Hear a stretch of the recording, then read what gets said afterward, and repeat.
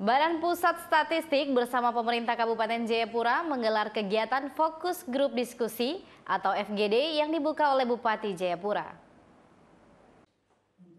Guna menyiapkan satu data di tahun 2020, Badan Pusat Statistik sesuai arahan dari Presiden Republik Indonesia di mana tahun 2020 Indonesia akan menjadi satu data. Melalui fokus grup diskusi ini akan menyatukan persepsi dari semua satuan perangkat kerja di lingkungan pemerintah Kabupaten Jayapura.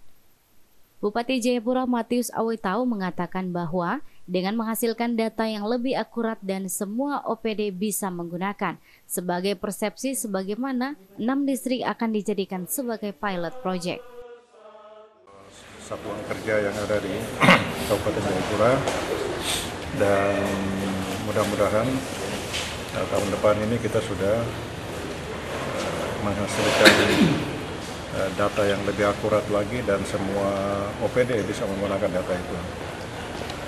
Kita mulai ya kebetulan kita sudah siapkan untuk distrik sebagai pusat data dan informasi enam uh, distrik dari pilot project dan ini wajib untuk mereka menyediakan data yang uh, yang kita butuhkan untuk uh, satu data Kabupaten Jayapura mulai dari distrik satu data dan ini kita bisa sampaikan untuk Indonesia satu data.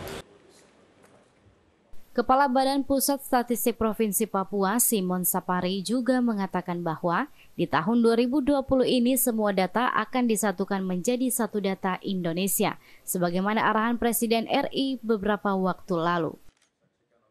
Dalam satu data Indonesia kita BPS itu sebagai uh, pembina data, sementara yang ditunjuk sebagai yang sudah ditugaskan sesuai undang-undang itu oleh pemerintah daerah sebagai uh, wali data. Wali data uh, sudah ditetapkan adalah uh, dinas kominfo. Kominfo itu yang ditetapkan sebagai wali data. Sementara dinas-dinas lainnya itu adalah produsen data. Jadi tapi ini kan belum dimengerti baik oleh eh, pihak-pihak uh, yang ada.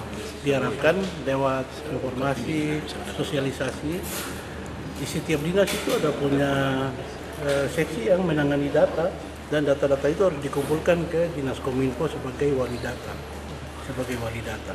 Kita sebagai pembina data BPS, sebagai pelopor data statistik yang percaya semua, kita akan jalan bersama-sama dengan pemerintah daerah dalam hal ini Kominfo untuk menyatukan data. Dirinya juga berharap dengan satu data Indonesia ini di tahun 2020 mendatang agar dapat terselesaikan data yang lebih akurat dari OPD lingkungan Kabupaten Jayapura. Dari Kabupaten Jayapura, Darul Mutakin iNews Jayapura melaporkan.